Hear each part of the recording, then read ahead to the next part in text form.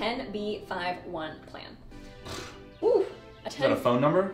it's my phone number. No, don't call me. Um, a 10b5-1 plan uh, is usually implemented by executives at a company who have material information.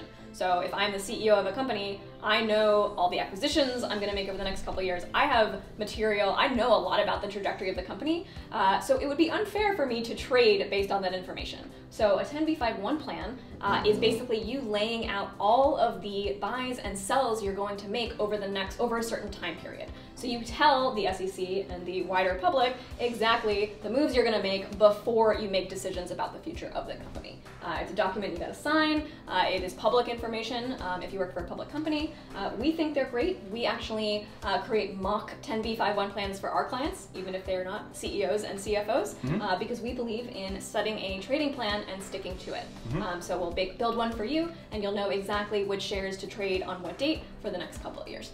Cool. Yeah. I mean, I'm assuming if you are eligible for a 10b5-1 that you know what blackout periods are. Yes. but if not, we have a video for that too. Yep.